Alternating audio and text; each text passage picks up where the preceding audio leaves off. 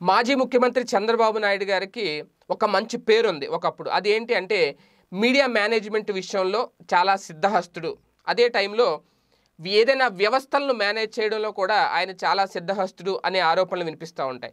అది నెగిటివా పాజిటివా అనేది పక్కన పెడితే నిజంగా మేనేజ్ చేయడంలో మాత్రం తెలుగుదేశం పార్టీ దగ్గరున్న చాణిక్యత అనుకోండి లేదంటే ఆ చాతుర్యం అనుకోండి అది వేరే వాళ్ళ దగ్గర లేదు అనేది మొదటి నుంచి వినిపిస్తుంది. Maybe forty years industry experience అంటే అదేనేమో అని అనుకోవాలి. ఇప్పటికీ ఎల్లో మీడియా ఎల్లో మీడియా అనే పదం వినిపిస్తుంది అంటే కారణం ఏంటి? ఆ ఎల్లో ఎక్కడి నుంచి వచ్చింది? ఆ పచ్చ అనే పదం ఎక్కడి నుంచి వచ్చింది? పచ్చ మీడియా పచ్చ మీడియా అంటారు. అంటే ఓకే అది రకం అది కూడా ఒక రకంగా పాజిటివ్గా చూసుకుంటే అలాగా ఒక వ్యవస్థని ఏర్పాటు చేసుకోవడం తమకు అనుకూలంగా అనేది చాలా గొప్ప విషయమే ఒక రకంగా. అది అందరికీ చేత కాదు. ఓకే. ఇక్కడ ఇప్పుడు ఎందుకు ఈ టాపిక్ వస్తుంది ఏంటంటే అంత అద్భుతంగా ఒక వ్యవస్థను ఏర్పాటు చేసుకున్న అంత అత్యద్భుతంగా ఒక పచ్చ మీడియాను ఒక కోటరీగా కట్టుకున్న ఎందుకు అంటే తన పార్టీకి సంబంధించి ఒక్కొక్కసారి పార్టీ పునాదులు కూలిపోయే ట- సమయంలో ఈ చుట్టూ ఉన్న ఈ కోటరీ ఈ పచ్చ మీడియా ఆ కూలిపోయే పునాదుల్ని కాపాడుతూ అవసరమైతే పైకి ఎత్తాల్సిన టైంలో కొన్ని జాకీలేసి పైకి లేపుతూ ఉంటాయన్నమాట. అది ఒక అద్భుతమైన అలాంటి ఒక వ్యవస్థను ఏర్పాటు చేసుకున్నారు. అయితే ఇప్పుడు తాజాగా అలాంటి వ్యవస్థలేమీ పనికి రావు అనే విధంగా ఒక అత్యద్భుతమైన వ్యవస్థ తెర మీదకు వచ్చింది. అదే డిజిటల్ మీడియా అలాగే సోషల్ మీడియా. ఎందుకు అంటే ఇది మనమేదో చెప్తున్నది కాదు. ఒక రిపోర్ట్ తెర మీదకి వచ్చింది. ఆ రిపోర్ట్ చూస్తూ ఉంటే ఆ రిపోర్టు గనక పరిశీలిస్తే నిజంగా ఇప్పుడు అద్భుతమైన వ్యవస్థలను నిర్మించుకున్న సీనియర్ రాజకీయ నాయకులకి సైతం గుండెల్లో దడ పుట్టే పరిస్థితి. అది ఎందుకు అంటే ఇప్పుడంతా కంప్లీట్గా డిజిటల్ యుగం. స్మార్ట్ ఫోన్ వినియోగించని వ్యక్తి ఉన్నారు అంటే చాలా అరుదుగా ఉంటారు. తొంభై తొమ్మిది శాతం స్మార్ట్ ఫోన్ ఉపయోగిస్తున్నారు. ఈ నేపథ్యంలో సోషల్ మీడియా ప్రతి ఒక్కరికి అందుబాటులోకి వెళ్ళిపోయింది.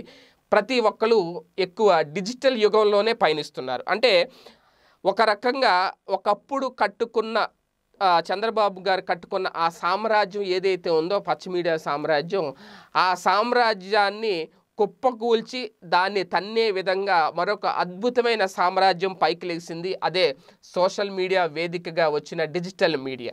అయితే ఇక్కడ విషయం ఏంటి అంటే ఇక్కడ జాకీలు అయ్యి పనికిరావు.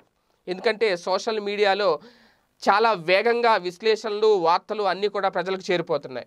ఇంతకుముందు టీవీ కూర్చుకొని రిమోట్ ఆన్ చేయాలి రేపొద్దున వచ్చేది పేపర్ కోసం వెయిట్ చేయాలి ఇలాంటివి ఏమీ లేవు. రేపొద్దున రాబోయే పేపర్లో విషయాల కంటే ఎక్కువ విషయాలు ఇప్పుడు డిజిటల్ మీడియా ద్వారా ప్రజలు తెలిసేసుకుంటున్నారు.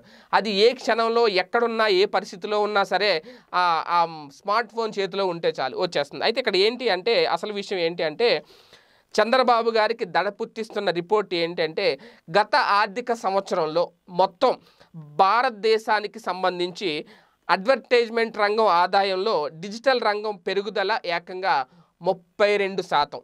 అంటే మొత్తం ఆదాయంలో ఇరవై రెండు శాతం ఈ రంగానిదే. అంటే ఇక ప ఇందులో పత్రికల విషయానికి వస్తే ఎంత పెరిగింది అంటే పత్రిక విషయంలో పెరుగుదల శాతం ఎంత అంటే ఐదు శాతం. అలాగే డిజిటల్ మీడియాలో ఏకంగా ముప్పై రెండు శాతం పెరుగుదల ఉంటే టీవీలో ఎలక్ట్రానిక్ మీడియాలో పెరిగిన శాతం ఎంత అనుకుంటున్నారు? ఎనిమిది శాతం అంట. అంటే పత్రికల్లో ఐదు శాతం టీవీలకు సంబంధించి ఎనిమిది శాతం. కాకపోతే డిజిటల్ మీడియాలో మాత్రం ముప్పై రెండు శాతం. అంటే ఏ మాత్రం కంపారిజన్ లేదు. చాలా డిఫరెంట్ ఉందన్నమాట. అంటే ఇక ఇక ఒకటే విషయం ఏంటంటే మీడియాను మేనేజ్ చేసే వ్యవస్థలను ఏర్పాటు చేసేయడం అనేది ఇంకా అనవసరం. అంటే అటువంటి వ్యవస్థలను ఏర్పాటు చేస్తే ఎటువంటి ఉపయోగం ఉండదు. డిజిటల్ మీడియాని డామినేట్ చేయడం అనేది ఇంకా ఆ వ్యవస్థల వల్ల కాదు అనేది ఈ రిపోర్ట్ చెబుతుంది. ఈ నేపథ్యంలోనే ఇక మీడియాని మేనేజ్ చేయడం అనేది చంద్రబాబు గారికి మరింత కష్టంగా మారద్ది అని చెప్పి ఈ రిపోర్టు ఆయన్ని దడ పుట్టిస్తుంది అనేది సోషల్ మీడియాలో ప్రధానంగా ఒక జాతీయ మీడియాలో వచ్చిన కథనం ఆధారంగా నేను ఈ వీడియో చెప్తున్నాను. ఈ వీడియో గనుక మీకు నచ్చినట్లయితే లైక్ చేయండి షేర్ చేయండి. మరిన్ని వీడియోస్ కోసం మా ఛానల్ను సబ్స్క్రైబ్ చేయండి.